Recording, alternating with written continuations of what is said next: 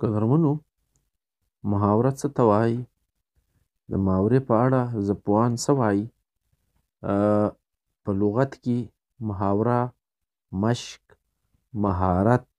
خبرې کولو ته ویل کېږي او په اصطلاح کې د ژبې هغه بڼه چې د الفاظو مطابق چې د معنا خلک نه ځینې اخلي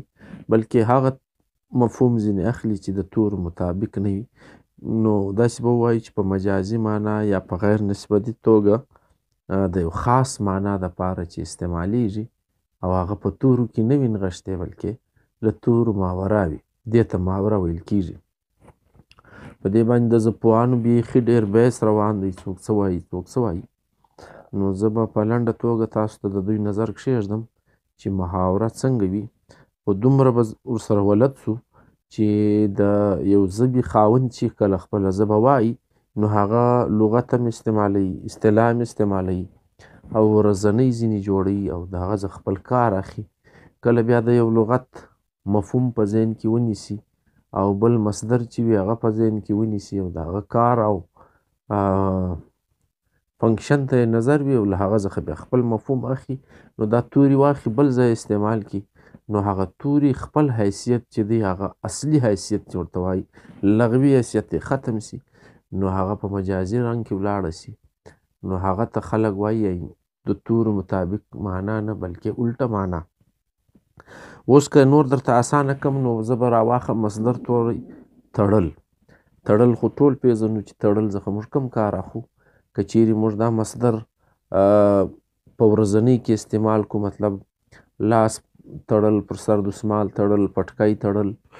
دا ګردي ورځنۍ دي دا د محاورې رنګونه نه دي که دغه توري موږ راواخو دا تړلی مصدر د تړل مصدر چې دی سره بدل کو اسم ور بدل کو داسې توري ور واچو چې هغه په فنکشن کې په عمل کې تړل کیږي نه مثلا زړه تړل نو زړه خو نه تړل کیږي نو دا زړه تړل چې سره راغو دا محاوره سوه د دې معنا بل شی ده او له چا سره زړه تړل موږ عام وایو دلته نو دا زړه تړل چې دي دا صبر کول د پاره هم په مفهوم کې استعمالیږي او له چا سره زړه تړل چې دي دا په مینه د مینې د مفهوم د پاره استعمالیږي نو دا تړل توري موږ واخیستی د زړه له اسم سره مو وتاړی نو زړه چې دی هغه په فنکشن کې چا تړلی نه دی نو داسې لغتونه چې کله د ژبې خلک استعمالوي توري یو رنګ وي او معنا یې بل رنګ وي نو دخته محاوره وایي کچيري موږ د محاورې له خپل اصل جوړښت سره ولد سو بیا موږ د دې په مفهوم باندې ډیر آسانه پوهیدای سو مصدر خوړل توری بیا ولد توری دی په موږ کې ډوډۍ خوړل بل هر څه چې د خوړلو شی وي هغه که موږ یاد کړو او له هغه سره خوړل تورې راوړو نو خوړل کېږي هغه دا محاوره نه ده دا ورځنۍ به ورته وایو په انګریزي کې کولوکویل جلا به هم درته وپېژنم او که چیرې موږ دا خوړل توري سره بل داسې شی استعمال کړو چې هغه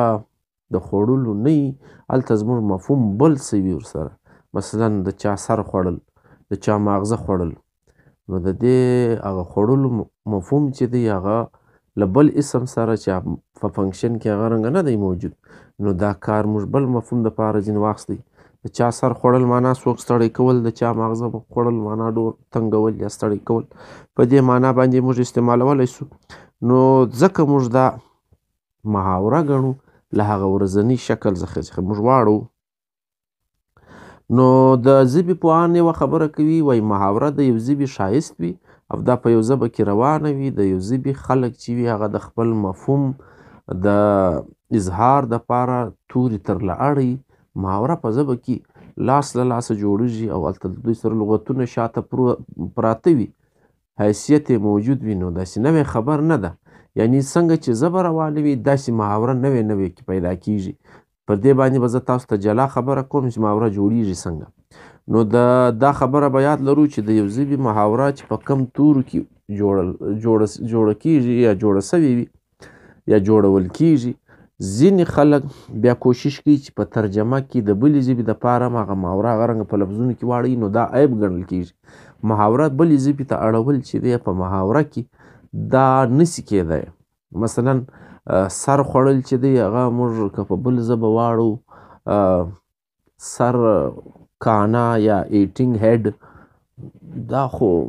په هغه ځبه کې بیا خلک هان دي دا سوای نو الته به ته بیا مفهوم اړه اصول دا دی چې محاوره چې دا د بلزبی نه اړه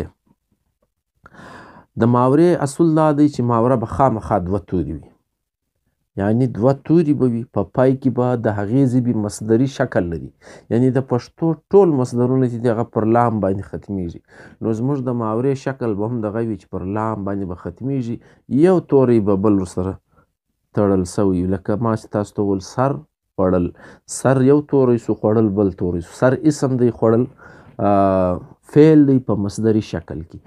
نو دا دواړه سره ګډ سو دا محاوره ځینې جوړه سوه او د دې محاورې چې کوم مفهوم دی هغه د سر په فنکشن کې خوړلو ته نه وایي لیا موږ عام وایي سر کښنی کول هلته جوړو وشتان نو ویښتانو دپاره که څوک دا ووایي چې زه ویښتان کښنې کوم نو دا خو عام معنا څو ورځنۍ ورته وایي که چا ویل زه سر کښنی کوم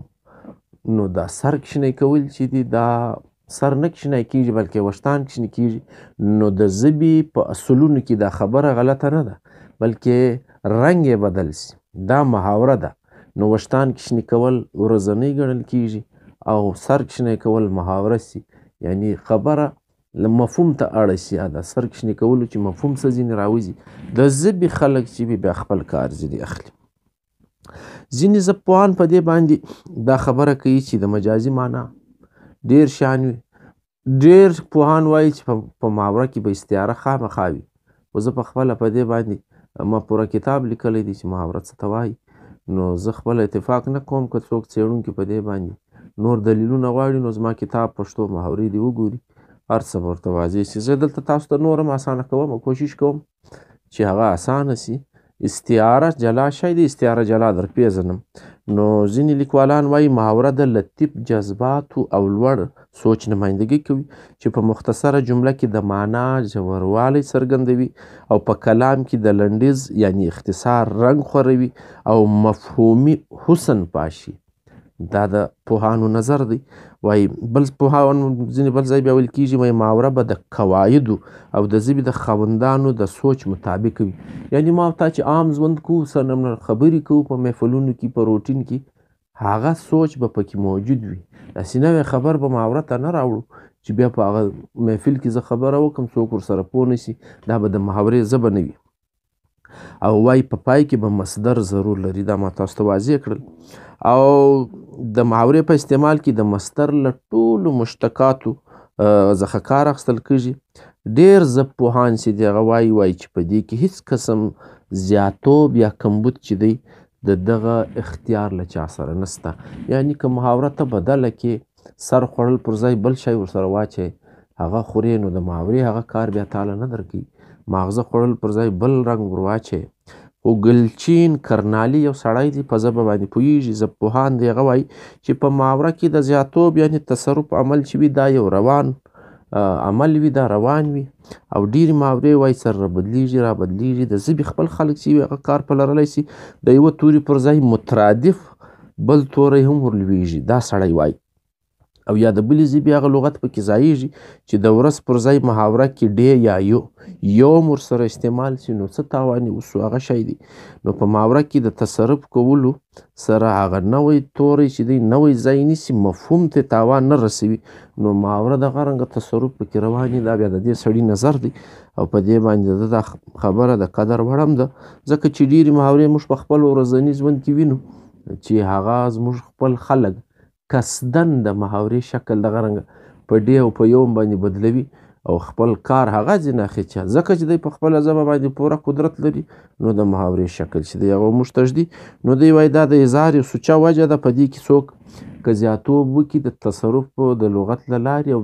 مترادف توری یاد لرئ، مترادف توری ورواچي نو تاوان نه ورته کیږي، محاوره هغه رنګ خپل مفهوم ادا کوي. ژبپوهان د محاورې په اړه وایي وایي خصوصا که زه تاسو ته وایم صاحبزاده حمیدالله صاحب ویلي وو محاوره قیاسي نه وي سماعي وي یعنی دلته اورېدل کېږي ته به قیاس کوې اوس به زه دا محاوره جوړوم دا نشي کېدای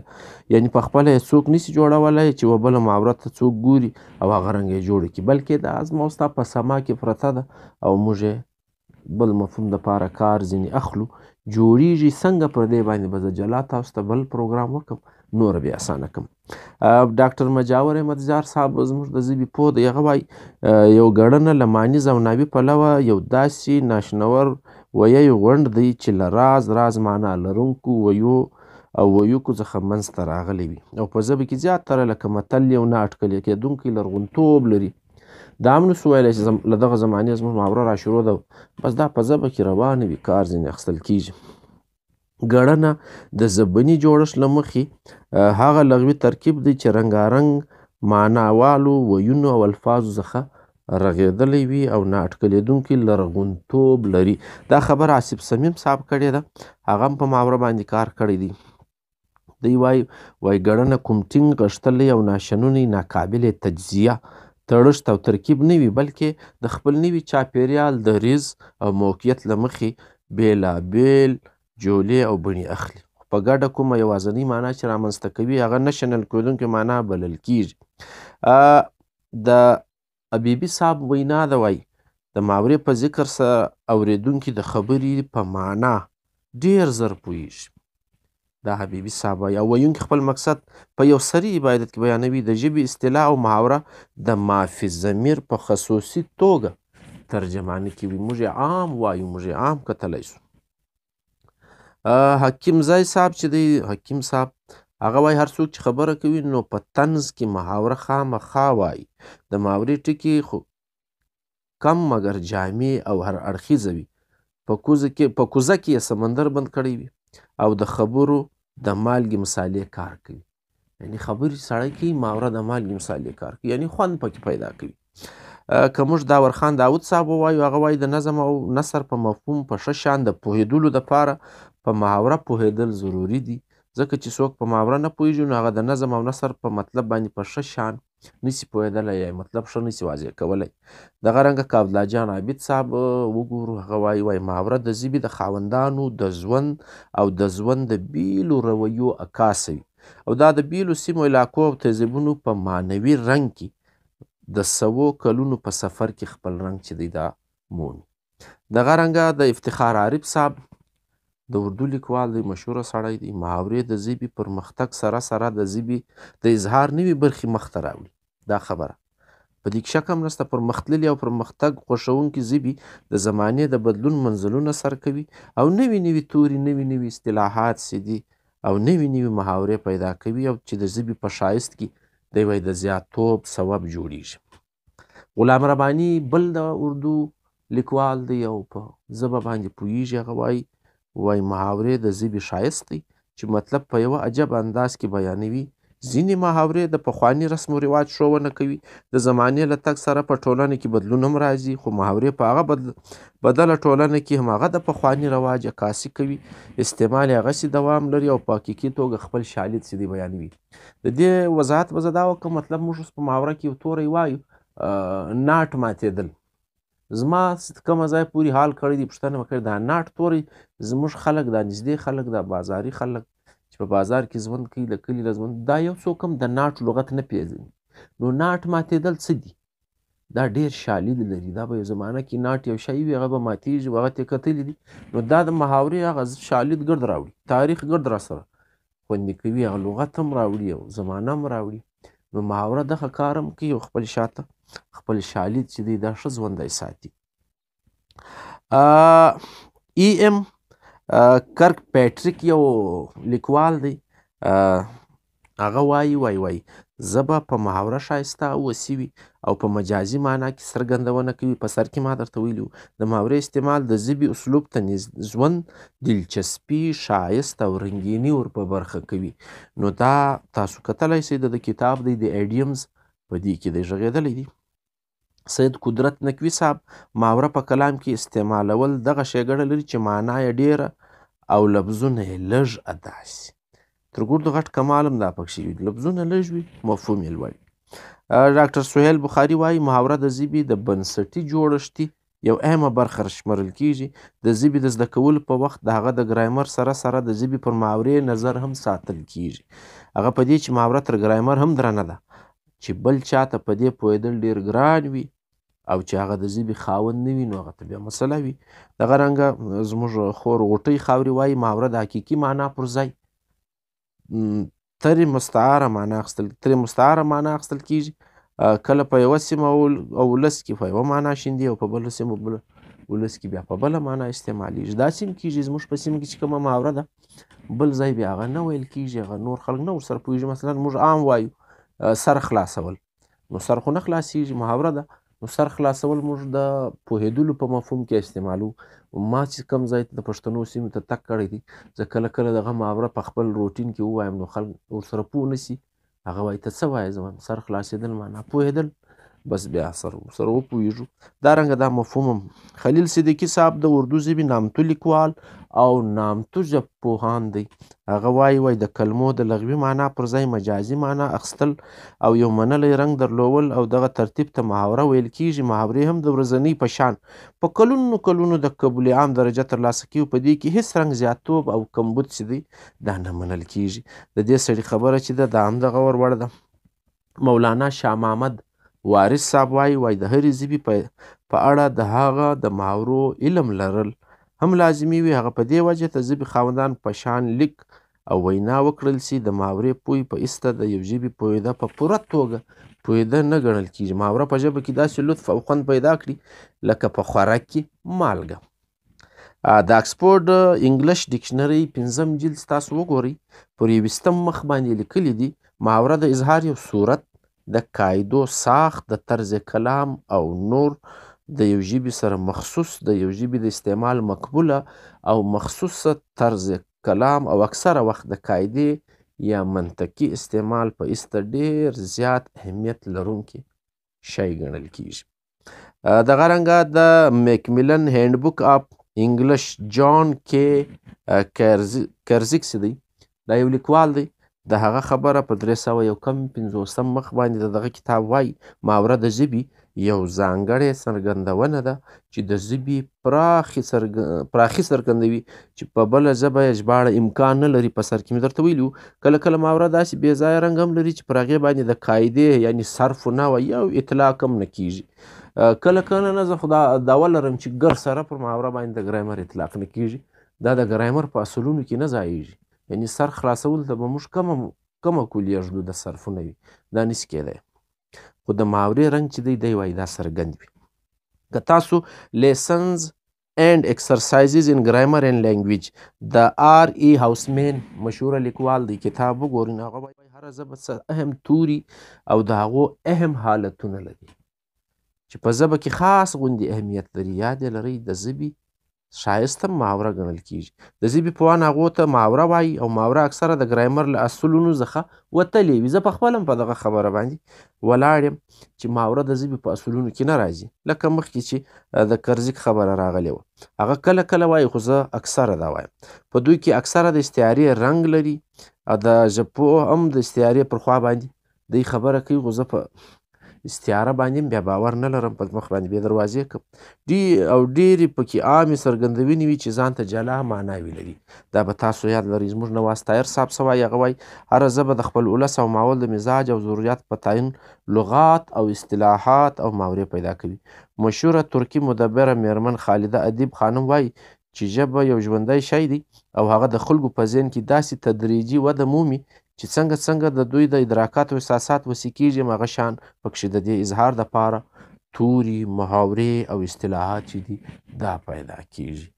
نو زما هیله ده چې تاسو به له محاورې سره ولد سوي یاستئ په مختصره یعنی لنډه توګه به دا درته وایم کم از کم دوه توري او دا دوه توري به په پای کې مصدر لري د پښتو د